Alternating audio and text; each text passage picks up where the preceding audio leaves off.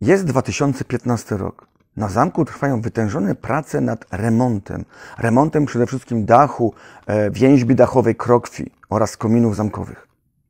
Dochodzi do zdję- zdjęcia całkowicie tegoż właśnie dachu z kominami. I w trakcie tych prac pracownicy budowlańcy odnajdują skarb zamku Czocha. Największy skarb zamku Czocha. Wśród tego skarbu znajdują się, znajduje się odzież, książki, bardzo cenne książki oraz przedmioty, które się wydają banalnymi przedmiotami. Jednakże po zbadaniu ich odnajdujemy w nich sensacyjne przedmioty. Wśród tych przedmiotów również jest jeden bardzo cenny list. I o tym liście i o tych przedmiotach dowiecie się Państwo wkrótce z kolejnego spotkania z Zamkiem Czocha.